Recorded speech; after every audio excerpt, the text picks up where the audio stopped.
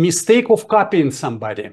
We already touched this subject, and I see that um, it's a it's a very common for the artist to like somebody and then trying to be that person, which is a huge mistake. First of all, I think we lost another painter because we lost your personality already, which probably would be developing. And that's a kind of, I feel, is marching in the wrong direction.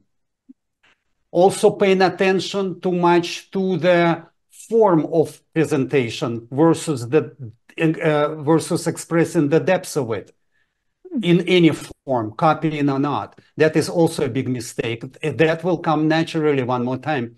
Or jumping too much into decorative aspect of visual arts because it's a totally different profession. Decorative art and fine art, despite we're using same instruments, it is two different activities and they are, have different target, uh, different uh, approaches different uh, business model, by the way, to of selling art.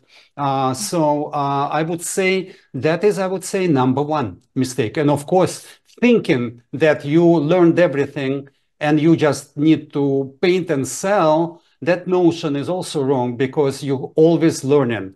And there should be a portion of work which is sort of experimental and designed just to increase your level of of mastery, and that is ignored most of the time.